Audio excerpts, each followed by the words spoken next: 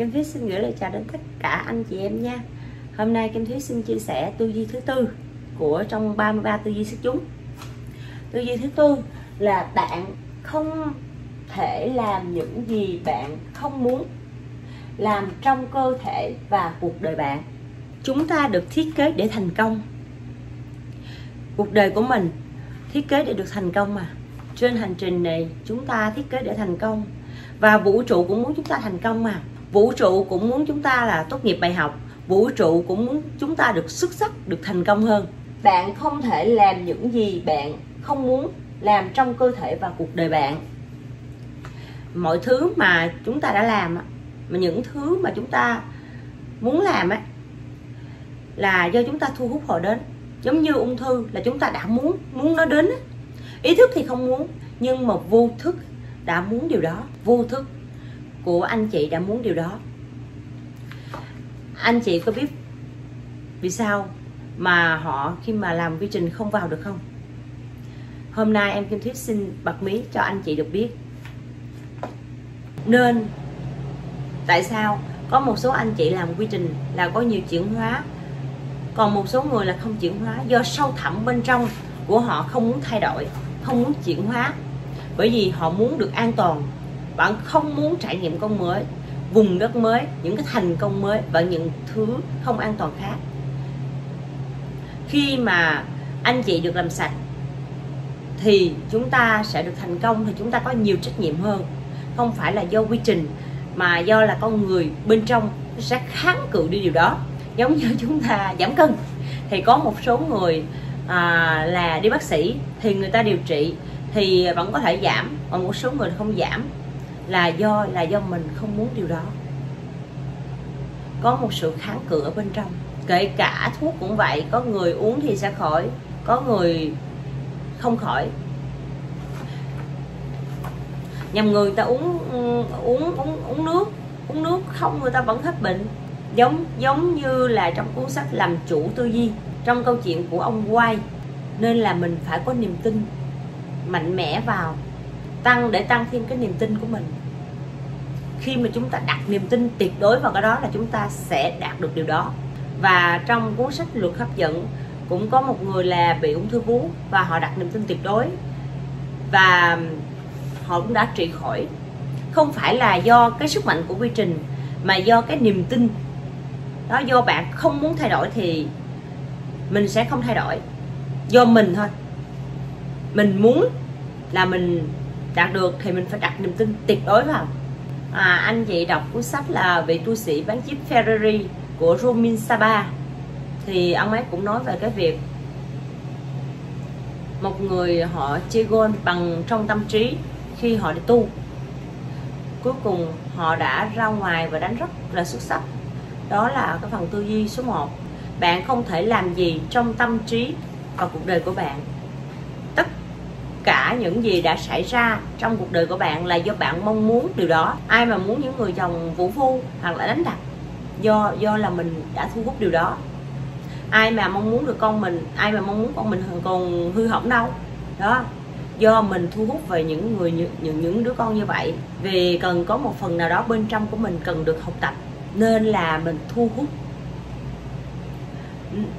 nên là biểu hiện những cái vấn đề của chồng mình, của con mình để mình học qua những cái vấn đề đó để mình được tốt nghiệp hơn. Những cái vấn đề đó xuất hiện ra là bên trong mình cần phải học. Đó, là nên là vũ trụ giao cho mình cái bài học đó để mình được làm bài tập đó. Vấn đề của con, vấn đề của con là vấn đề của mình, vấn đề của chồng là vấn đề của mình. Đó là vấn đề là nhu cầu học của mình. Chứ còn mình đổ lỗi mình đổ lỗi đó là do chồng mình do con mình là không phải. Khi mà vũ trụ đưa những cái vấn đề đó là thông qua con của mình thông qua chồng của mình để mình được tốt nghiệp hơn. Đó để cho mình học bài học. Khi một ai khi mà mình nhìn à, một ai đó nhìn một ai đó mình bạn đang tức giận và đang khó chịu. Đó là có một phần nào đó mình cần được chữa lành. Đó là phản chiếu một phần nào đó của mình nên là tất cả những người xung quanh mình, họ chỉ là một cái gương để phản chiếu nội tâm của chúng ta, phản chiếu vô thức của chúng ta. Khi chúng ta thay cái cái cái gương, cái kiến thì không có gì thay đổi cả. Nên nhiều người cứ nói tại sao em đâu có mong muốn là em có những cái đứa con hư hỏng. Đó, đâu có mong muốn những cái người chồng, người vợ như thế đâu. Nhưng mà đó là điều sự thu hút. Do vô thức của mình đã thu hút về điều đó mà anh chị không hề hay biết để mà mình được học bài học. Còn nếu vô thức của bạn mà không mong muốn thì cái điều đó nó sẽ không đến đâu nên bởi vì là bạn không thể làm những gì bạn không muốn làm trong cơ thể và cuộc đời bạn. Nếu bạn không muốn, nếu bạn không muốn làm, nếu bạn không muốn làm, nếu bạn không muốn làm, tất cả những vấn đề là do do anh chị thuốc nó đến. Bởi vì nhu cầu bên trong của mình mong muốn điều đó đang muốn được học. Nên là những cái vấn đề xuất hiện đến với cuộc đời mình là phản chiếu những cái gì bên trong của mình mong muốn về điều đó, để mình được có bài học, để mình học.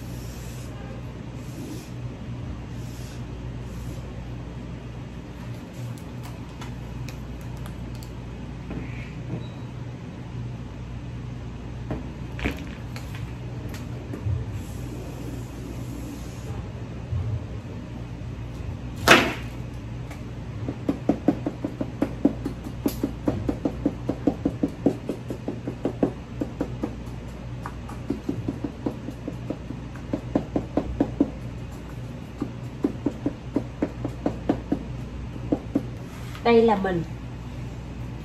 Đây. Đây là những cái màu đỏ này là những cái ký ức bên trong của mình những cái tổn thương tổn tổn thương ký ức bên trong rất là nhiều.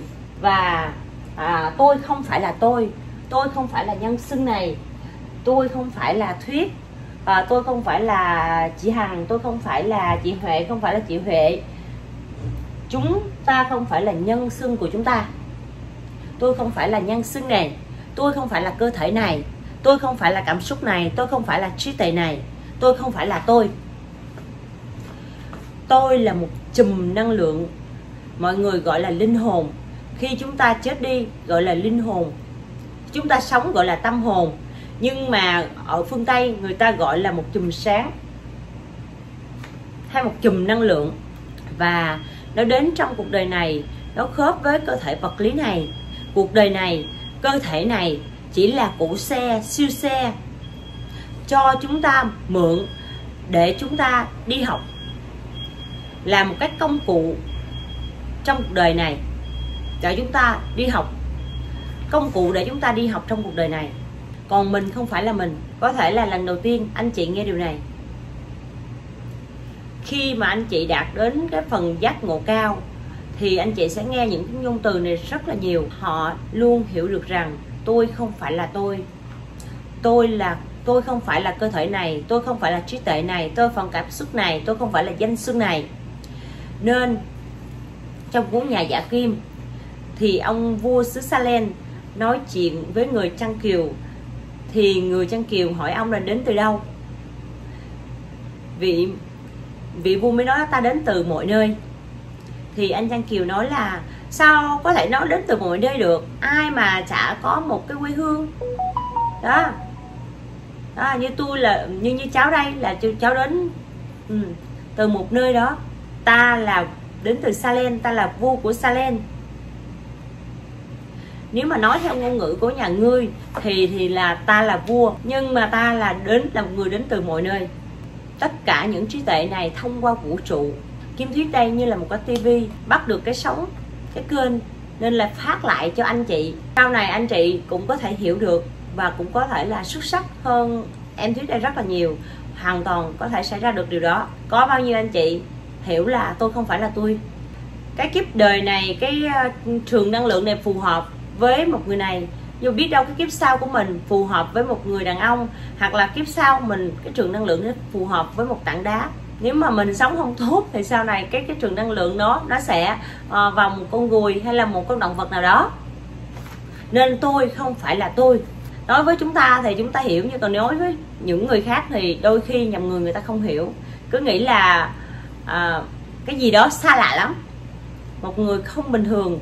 Đôi khi nhầm người cứ nghĩ là à, theo một môn phái nào hay là một thần thánh nào đó. Nhưng rất là đơn giản hiểu cuộc đời nó là như vậy tất cả những ký ức này chúng ta mang ADN của cộng đồng xung quanh mình và nó đi vào trong tâm thức của chúng ta. Mỗi một giây có 1,4 triệu bit thông tin. Chúng ta xử lý được 30 đến 40 bit còn một số còn lại nó sẽ thấm thấu vào bên trong con người của chúng ta thẩm thấu vào bên trong. Nó thẩm thấu vào bên trong cơ thể của chúng ta thẩm thấu vào vô thức của chúng ta nên là nó có thể ở từ rất rất rất lâu rồi mà chúng ta không hề hay biết. Không phải là cha mẹ ta để lại ký ức của ta, có thể là người hàng xóm, người xung quanh của chúng ta để lại ký ức bên trong chúng ta và tất cả những người xung quanh của chúng ta. Tất cả không trừ một ai. Tất cả những người xung quanh chúng ta không trừ một ai. Họ đều là những tấm gương phản chiếu chúng ta.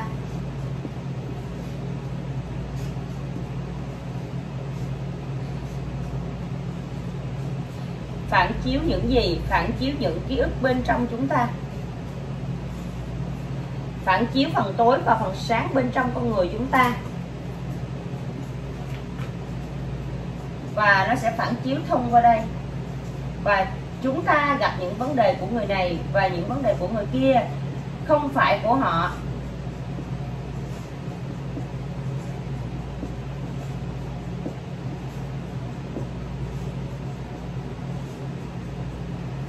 Đó, tại sao con của chị đó bị hư? Chứ không phải là con của của mình bị hư. Nên là đó là không phải vấn đề của mình, mà đó là vấn đề của cái chị đó. Đó là vấn đề của một người khác. Bà, do là anh chị, có sự phản chiếu của anh chị, nên con của anh chị mới xuất hiện đến cuộc đời của anh chị, chồng của anh chị, hoặc là vợ của anh chị. Đó, là đó là phản chiếu vấn đề của anh chị phản chiếu cái ký ức của anh chị. Nên không cần phải lôi họ đi đâu. Nên trước mắt là mình phải lôi mình ra. Mình phải học trước. Mình phải chữa cho chính mình trước. Mình phải gỡ gỡ bỏ hết những cái thế này ra thì mình sẽ thanh tẩy những cái phần này ra. Thì sẽ không có những cái phản chiếu nữa. Nó sẽ không có phản chiếu những cái này nữa. Nên tại sao chúng ta ngày càng tuyệt vời hơn? Thì những người xung quanh chúng ta lại tuyệt vời hơn và cuộc đời này không có gì mà liên quan đến những người xung quanh cả. Tất cả những vấn đề là chỉ do mình liên quan ở mình thôi. Không có liên quan đến những người xung quanh của mình. Tất cả đều là do mình chính mình. Và có một số vấn đề nữa là tôi không có kiếp. Mà tại sao tôi lại xảy ra như vậy? À, tôi cũng sinh ra trong một gia đình là tốt đẹp không có kiếp gì hết. Nhưng mà tại sao tôi cũng gặp vấn đề như vậy? Thì có thể là do hứng khởi của vũ trụ đã đem đến. Có một số người cứ thắc mắc, tại sao tôi sống trong một gia đình bài bản như vậy mà lại xuất hiện những cái điều như vậy không tốt đến với mình? Hứng khởi là có nghĩa là vũ trụ ban cho mình một cái bài toán, một cái vấn đề đó, trao cho mình một cái cơ hội nào đó mà nó không thể biểu hiện của cái ký ức. Để làm thế nào phân biệt, đó là phấn khởi và đâu là ký ức, nhưng chúng ta không thể phân biệt được. Việc của chính mình, việc của mình là để làm sạch chính mình. Và những cái vấn đề này mình có thể nhìn thấy của người khác là hứng khởi hay là ký ức. Và việc của mình chỉ có cái là mình làm sạch chính mình mình chữa lành chính mình mình thanh tẩy chính mình. Đơn giản là chỉ như thế mà thôi nên là anh chị không thể làm gì trong cơ thể và cuộc đời của mình. Nên tất cả mọi điều đang đến với cuộc đời mình là bởi vì anh chị thu hút nó đến một cách ý thức. Để vì thế chúng ta hãy tốt nghiệp thì tràn ngập lòng biết ơn thì chúng ta mới tốt nghiệp được bài học còn nếu anh chị không tràn ngập lòng biết ơn thì chúng ta sẽ không bao giờ tốt nghiệp được. Nên chúng ta luôn biết ơn những thứ xung quanh chúng ta. Biết ơn cơ thể của chúng ta. Nên là chúng ta luôn thực hành lòng biết ơn.